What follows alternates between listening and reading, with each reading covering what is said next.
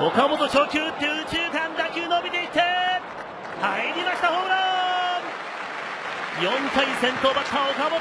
右中間へのホームラン。右中間の打球が落ちてきませんでした。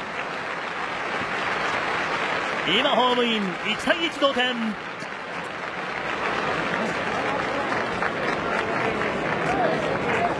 岡本の一発。